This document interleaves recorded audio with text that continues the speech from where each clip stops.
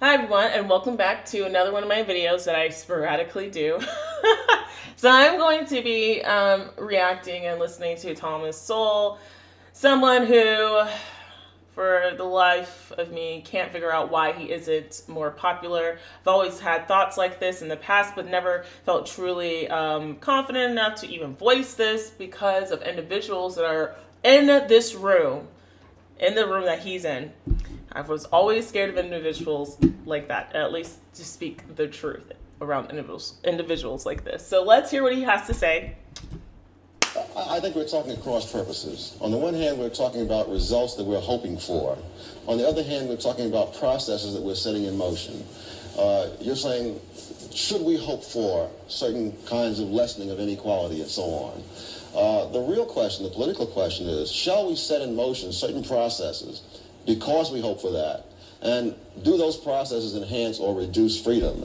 And I think the argument that Milton is making, certainly the argument that I would make, is that the attempt at doing these things, and it doesn't really matter, it's a complete straw man to talk about absolute inequality. If you, if, no, no, yes, not at all. it is, no. absolutely. Throughout the film, this is the straw man he brings up in order to say how ridiculous to have absolute equality. And then he goes on no, to say how ridiculous to have absolute point is, homogenization as, well. As a, as a result, you see, that you set up processes whose, whose end result may not be any more or less inequality than exists now, but the question is, those processes may indeed reduce freedom greatly. Uh, I would go beyond the question of equality and, and, put it more generally, that any process to ascribe any status to any group of people, equality, inferiority, superiority, must necessarily reduce freedom, because whatever the government wishes to ascribe to any group, whatever, whatever place, to use the phrase that was very common in the South, that blacks should have their place, whatever place the government is going to assign to people, that place will not coincide, wait, that, that place will not coincide either with, with what all those people are doing or with how others perceive yes. all those people. I 100% agree with him on this one. And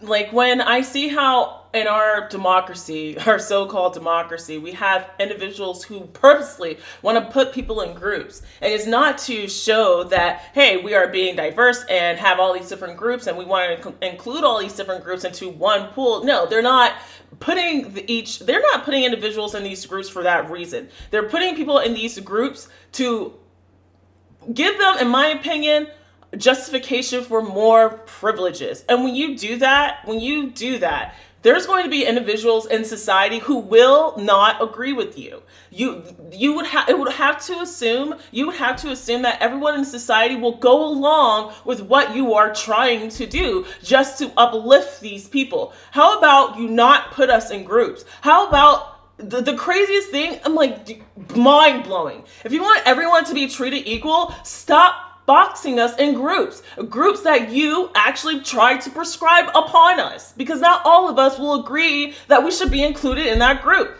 Not all of us will uh, believe that we should even be seen as part of that group. How about we just treat each other as individuals and not by groups?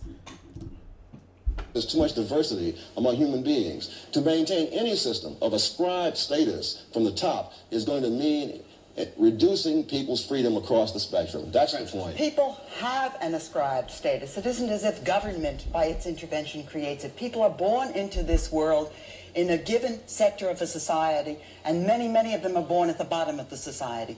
The argument for, about equality of results was an argument that was linked to equality of opportunity. People recognized that unless there was a degree of equality in a, a degree of enough food, enough security, uh, access to education. Unless these things were available to all children, then equality of opportunity was merely a mockery.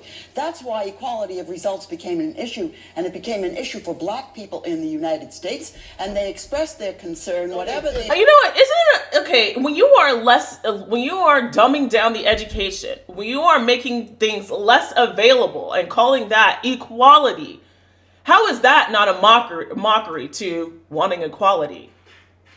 I don't get, I don't, I do not get individuals like this. I, to sit here and say equality somehow is linked to um, um, equal opportunity or at least having the opportunity to have or I guess to fix equality in our society, to me, I think is kind of stupid. Because, and the only reason why I say that, no matter how, if we were to reset if we were to literally reset society and everyone had the same amount of money, There will be individuals, and, and sorry, let me let me let me get this in a, a, more straight thought. If we went back to everyone, and and this this has never happened in our society, not once, but suppose everyone big, went back to equilibrium, where everyone started at the same spot with the same opportunities, the same num- uh, amount of money, the same value.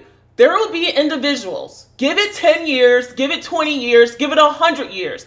There will be individuals that will take those opportunities and run full blast with it. And at the end, you will still end up end up with inequality. Why? Because not everyone is the same. Not on all the spectrums. No, it's impossible. It doesn't make sense. It's just it's not possible. Mathematically, it's not possible. The only way that would be possible is if we're all fucking robots, as if we're all fucking drones. Then yeah, you could say that. Okay, we will ne- there will never ever be inequality because we all think the same, we all act the same, we all have the same amount of motivation to do things. So I'm like, you know, these types of individuals, these type, this type of thinking from people drives me insane.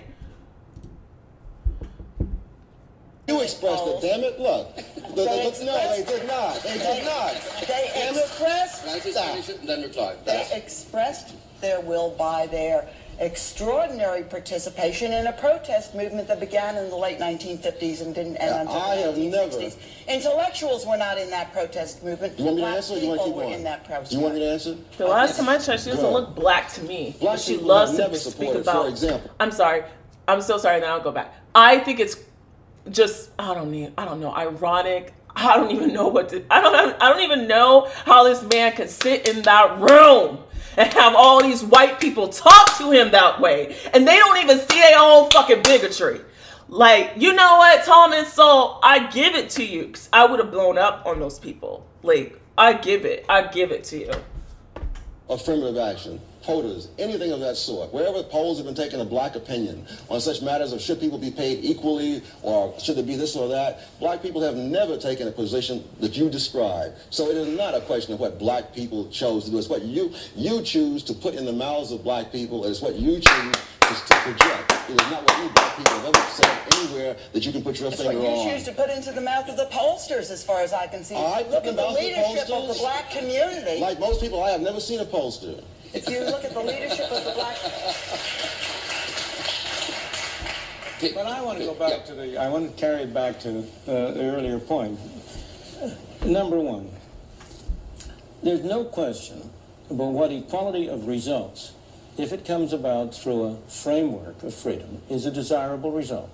Number two, I argue in the film, I have argued here, that in point of fact, you get greater equality of actual results by a system under which people are free to achieve unequal results. Yep. But for the poor people of the world that uh, Frances Fox Piven was talking about, the most effective mechanism for enabling them to improve their status is not a governmental program which seeks to ascribe to them certain positions, which seeks to provide them with certain goods and services, but a governmental program which tries to eliminate arbitrary barriers to advancement. I would say that in this world, the greatest source of inequality has been special privileges granted by government. That government, you may talk a great deal, there may be a lot of talk about how we're going to eliminate inequality. But if you look at, go back to your case of Britain, is there any doubt that one of the effects of governmental intervention in Britain has been to create new opportunities for special classes? That the way to get wealthy in a uh, society that supposedly is Yep. aiming at equality. Because there will be individuals who will make who will take advantage of those policies. They will take advantage of those policies abuse them and make sure they close that door behind them so no one else no one else can you know get rich off of them there are you know that the way to get wealthy is to get a special government permit to import, uh, import, to get foreign exchange, or to import goods, or to, in this country, to set up a television station. Okay, so yes, that's the end of this video. I um I know I get a little passionate about these topics. In the future, I would try not to be as wordy or I don't know overly anxious.